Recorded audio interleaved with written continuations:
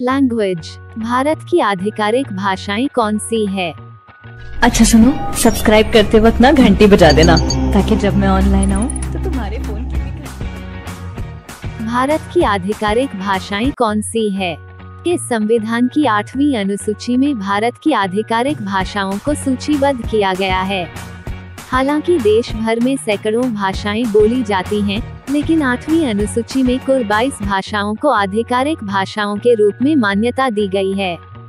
जबकि इनमें से 14 भाषाओं को पहले संविधान में शामिल किया गया था बाकी भाषाओं को बाद के संशोधनों के माध्यम से संविधान में जोड़ा गया था। भारत की आधिकारिक भाषाएँ असमिया, यह भाषा ज़्यादातर पूर्वोत्तर राज्य असम में बोली जाती है और इस क्षेत्र के संपर्क भाषा के रूप में भी कार्य करती है।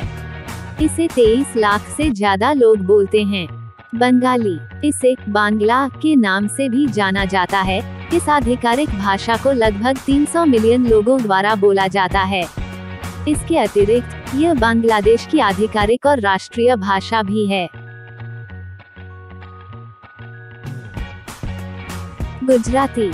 यह भाषा गुजरात में आधिकारिक भाषा है। साथ ही साथ दादरा और नगर हवेली और दमन और दीव के केंद्र शासित प्रदेशों में भी। यह भाषा पचपन दशमलव पाँच मिलियन से अधिक लोगों द्वारा बोली जाती है। हिंदी। यह भाषा उत्तरी, मध्य, पूर्वी और पश्चिमी भारत में बोली जाती है। इसके अतिरिक्त, यह भारत सरकार की दो आधिकारिक भाषाओं में से एक है और लगभग 322 मिलियन वक्ताओं द्वारा बोली जाती है। कन्नड़। कन्नड़ एक द्रविड़ भाषा है जो ज़्यादातर भारत के दक्षिणी क्षेत्र में कर्नाटक के निवासियों द्वारा बोली जाती है। यह 2011 तक लगभग 43 मिलियन लोगों द्वारा बोली जाती है। कश्मीरी।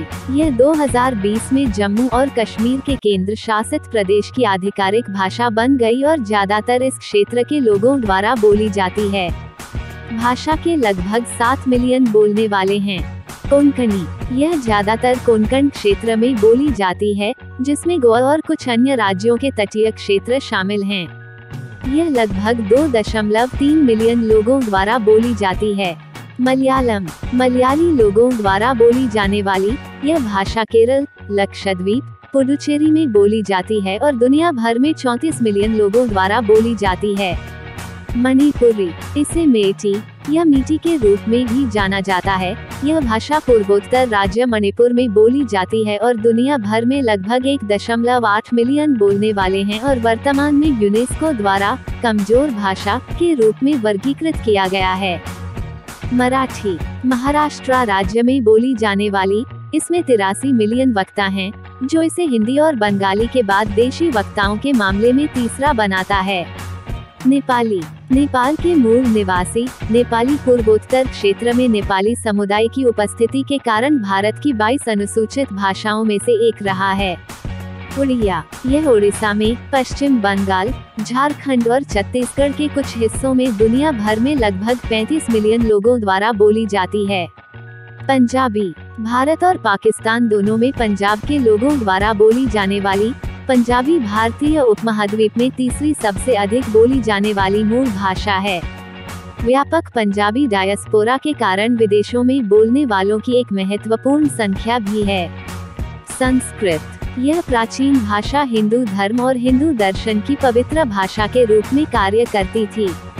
डॉट, सिंधी। सिंधी एक इंडो आर्यन भाषा है जो पश्चिमी भारतीय उपमहाद्वीप के प्राचीन सिंध क्षेत्र में सिंधी लोगों द्वारा बोली जाती है।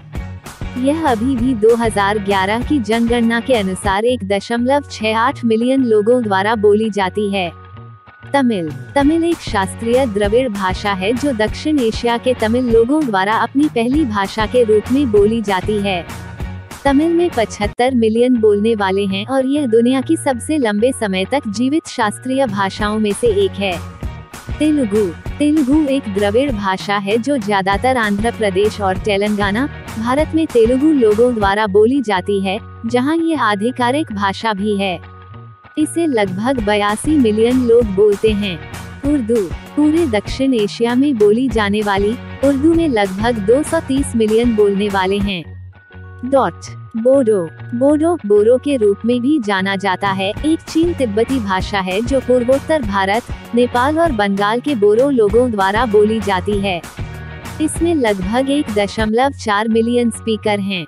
डॉट संथाली मुख्य रूप से असम, बिहार, झारखंड, मिजोरम उड़ीसा त्रिपुरा और पश्चिम बंगाल में बोली जाने वाली संथाली लगभग दो दशमलव छह मिलियन लोगों द्वारा बोली जाती है। मैथिली। मैथिली नेपाल और भारत के कुछ हिस्सों में बोली जाने वाली एक इंडो आर्यन भाषा है क्योंकि यह भारत में बिहार और पूर्वोत्तर झारखंड में बोली जाती है। वर्ष 2000 तक इसमें 33.9 मिलियन वक्ता थे। अच्छा सुनो। सब्सक्राइब करते वक्त ना घंटी बजा देना ताकि जब मैं ऑनलाइन आऊँ